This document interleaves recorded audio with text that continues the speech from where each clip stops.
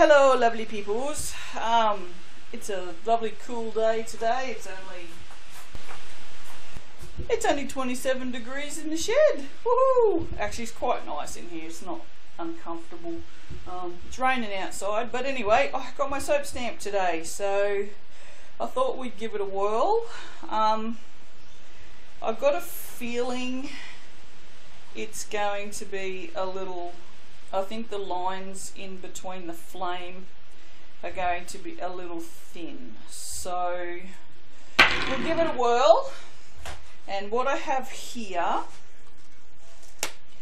is a soap that is a month old and a soap that is a week old. I just wanted to try it on both purely because well purely just because like I'm super forgetful so I know that I'm going to forget to stamp things in a week. So I need to know how well this actually works on a soap that is a month old.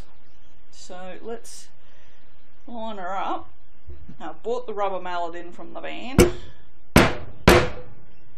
Okie dokie, so it needs a bit more of a whack. Yeah, the van I have also discovered now does not open the back door. Oh, I don't know what's happened. Which is going to be great to get shit out for the markets, isn't it? Uh, where's the thing? So it's a bit hard to whack really hard on this. Uh, actually, I've got an idea. This is my piece of timber that I lay my um, resin pieces on. So let's give that a clean. That'll just help disperse the smackerage. smackerage. Righto. Making up words again. I'm making up words again. Ready?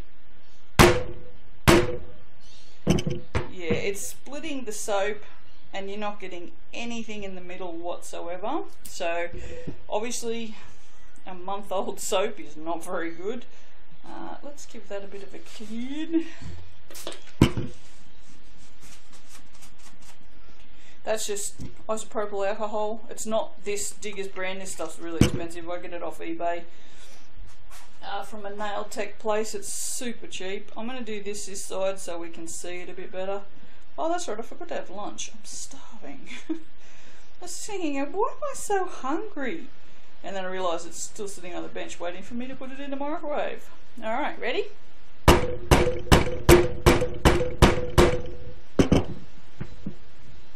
Well, yeah, that's pretty much what I figured. That's kind of a waste of money. Ah, well, never mind. I mean, it's kind of my symbol.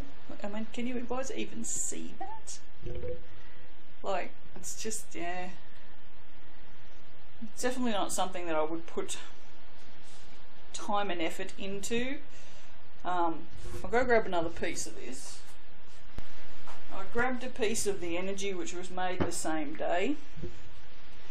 Um, so we might see if we can't make this go in a bit deeper. I'll do it on the purple where we can see it. Oh. uh, that was a little too deep. I guess I'm keeping that piece. Yeah, no, so even if I'm smacking it in that deep, which is deforming the soap,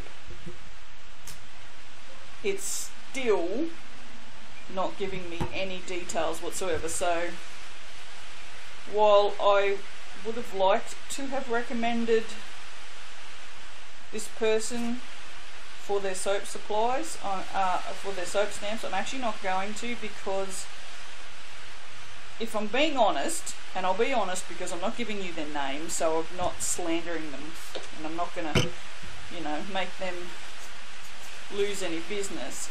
But if they make soap stamps and they know what they're doing, they should have known that these lines in here were going to be too thin to make any sort of impression on a bar of soap.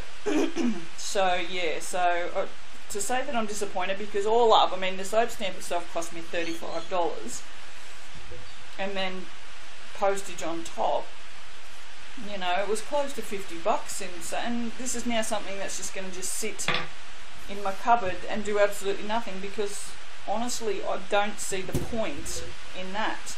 Like, it's clearly not my logo. My logo is a, is a flame with these things in the middle. So, and the whole point is one side's supposed to represent a flame and the other's supposed to represent a water drop, which is because I make soap and candles. So, anyway, now that the rain has decided to start in earnest, and it's getting a little loud in here, I'm going to go have some lunch, and then I'm going to come back out and make some soap, which will never get stamped. So, there you go. There's my honest review. Um, yeah. So if you if you're gonna get a sorry. If you're going to get a soap stamp made, I would strongly suggest if you have thin lines, you can see in the reflection there, if you're going to have thin lines in your design, they are not going to translate to your soap at all. Um, I would suggest you either get your business name instead, which I'm kind of wishing I had it done now, and then I could just put Wicked Lee Goods across the bottoms of the soaps, or make sure that those lines are a lot wider so that you are getting the detail because that is definitely nowhere near detailed enough. Like, this is fresh soap, it's a week old, you know, you're not going to get to stamp anything of newer than that unless you do it the day you get it. That's right, that's just they're bendy. and um yeah, I mean